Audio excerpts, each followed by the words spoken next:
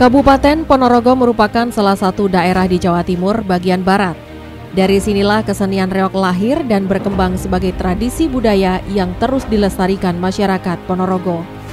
Memiliki luas wilayah sekitar 1.372 km persegi, Ponorogo membutuhkan pemerataan pembangunan.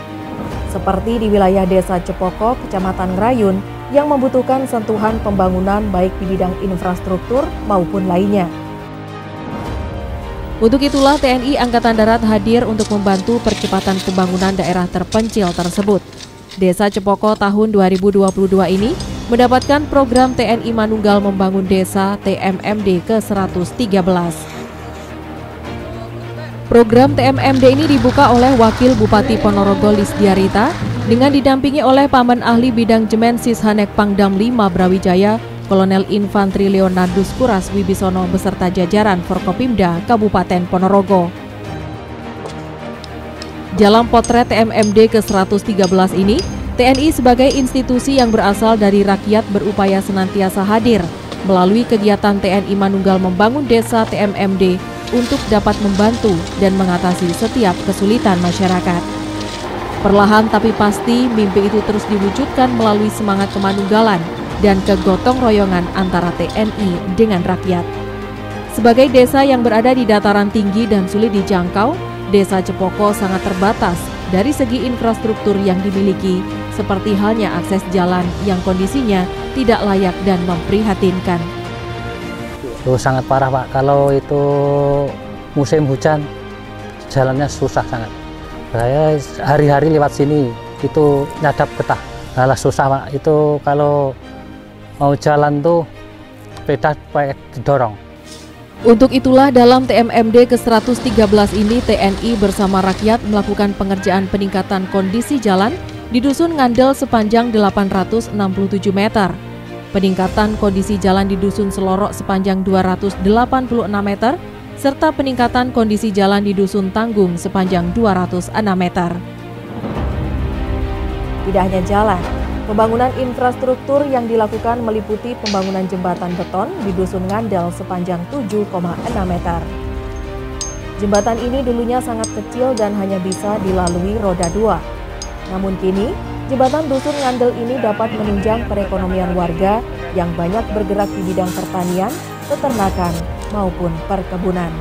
Lebih lanjut, TMMD ke-113 di wilayah teritorial Korem 081 di Rotsa Ajaya ini juga menyasar rumah tidak layak huni RTLH. Untuk di Desa Cepoko ini sebanyak 5 unit rumah warga dilakukan rehab agar layak untuk ditempati. Hal ini pun menjadi berkah tersendiri bagi penerima program rehab RTLH tersebut. Alhamdulillah bersyukur dapat bantuan dari TMMD. Hmm. Sebelumnya rumahnya tuh eh, kondisinya seperti apa mas? Dia pakai kasibot cuma pakai kasibot yang ada bocor nggak rumahnya? Ada. Nah, terus sekarang gimana mas? Alhamdulillah sekarang sudah nyaman. Pembangunan fisik lain yang dikerjakan secara gotong royong yakni pembangunan tempat wudhu dan toilet di musola Dusun Kembang yang bertujuan untuk lebih meningkatkan kualitas keimanan dan ketakwaan masyarakat. TMMD ke-113 di Desa Cepoko, TNI hadir untuk membantu masyarakat dengan melakukan berbagai pembangunan infrastruktur yang sangat bermanfaat. Ketua Tim Wasef TMMD ke-113 Ponorogo Marsma TNI Kustono sangat mengapresiasi progres pembangunan dalam TMMD ke-113 Desa Cepoko ini. Bersama rombongan, tim Wasef juga memonitor langsung hasil pembangunan fisik maupun non-fisik Menurutnya berbagai sasaran yang dikerjakan telah tepat sasaran dan sesuai harapan. Uh, setelah kita melihat secara langsung hasil dari TMMD yang dilaksanakan Satgas Kodim 0802 sesuai yang disampaikan dilaporkan oleh Dandim tadi bahwa seperti contoh jembatan tadi dilaporkan 80% sekarang sudah ada peningkatan sementara kita masih ada sekitar dua minggu dan ini diperkirakan satu minggu itu sudah selesai semua gitu. Yang jelas uh, dengan setelah selesainya TMMD kemudian diserahkan ke Pemda setempat, hasil dari TMMD ini bisa dimanfaatkan oleh masyarakat untuk meningkatkan kegiatan peningkatan ekonomi wilayah, wilayah ini. Dan Satgas TMMD ke-113 Ponorogo Letkol Infantri Muhammad Radi Rusin menjelaskan, berbagai tantangan banyak dihadapi oleh para anggota Satgas TMMD, khususnya terkait kondisi geografis Desa Cepoko. Namun dengan didukung oleh kegigihan dan semangat pantang menyerah dari seluruh masyarakat Desa Cepoko, seluruh sasaran dapat diselesaikan dengan baik. Jadi desa Cempoko yang pertama kita lihat bersama ini berbatasan sama Trenggalek posisinya. Kemudian memang akses jalan cukup sulit, tapi begitu kita ngelihat akses ke Trenggalek di sana justru sudah cukup bagus gitu. Nah untuk mengimbangi kita pilih di sini itu yang pertama. Yang kedua ini kita memilah memilih berdasarkan eh, laporan dari Babinsa yang dibawa bahwa di sini kalau hujan anak-anak apa anak-anak pelajar mau sekolah sulit. Kemudian kayak jembatan ini mau pengiriman sesuatu yang bermuatan besar karena hanya bisa dilewati roda dua sulit. Akhirnya kita pilih di sini. Jadi peruntukannya lebih kepada untuk memajukan perekonomian e, masyarakat. Dengan berbagai pembangunan infrastruktur yang dilakukan di desanya, Kepala Desa Cepoko Dwi Cahyanto mengaku sangat bersyukur dan berterima kasih Pasalnya pembangunan infrastruktur jalan sangat diidam-idamkan masyarakat untuk akses peningkatan perekonomian. Akses jembatan dan jalan yang semakin baik dinilai akan dapat berbanding lurus dengan semakin meningkatnya kesejahteraan para warganya, khususnya dalam peningkatan hasil pertanian. Sangat dibutuhkan karena apa? E, e, kita memiliki akses-akses jalan yang sangat vital dan sangat banyak, sehingga kalau kita bangun hanya dengan dana-dana yang lain, ini tidak mencukupi. Kehadiran TMMD sangat membantu kami untuk lebih eksis, untuk lebih tampil di masyarakat, menjadi masyarakat yang akan lebih baik.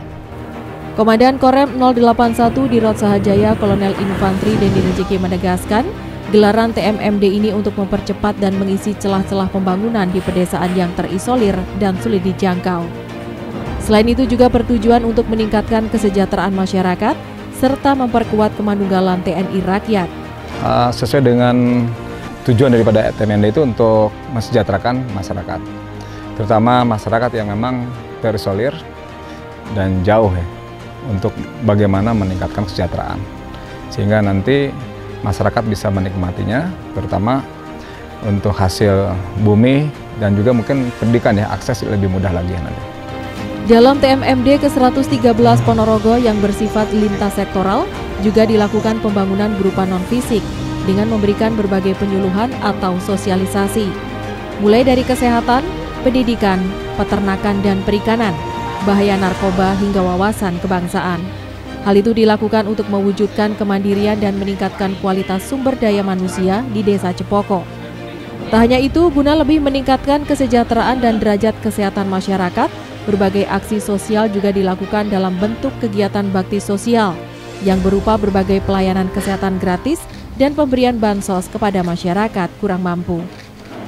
Fisik dan non fisik, fisiknya sudah kelihatan kalau kemudian diukur dengan biaya ini sangat murah sekali dan dan melibatkan gotong royong. Nah, gotong royong inilah spirit yang kami ingin kami bangun bersama TNI dan hari ini berhasil. Terima kasih kepada Pak Pangdam, kepada semua pihak yang terlibat, terutama kepada pasukan yang sudah rela turun gunung dari dari uh, dari markasnya masing-masing kemudian di desa kami mudah-mudahan ke depan akan kami kembangkan dan kerjasama ini akan kami lanjutkan di tahun-tahun berikutnya dan akan lebih kita tambah cakupannya.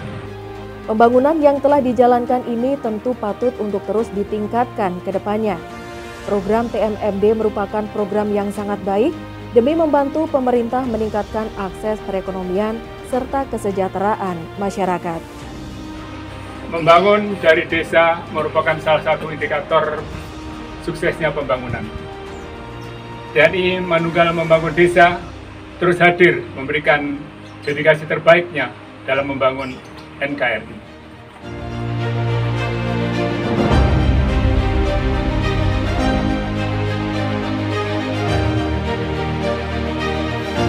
Tim Liputan, JTV, Madiun.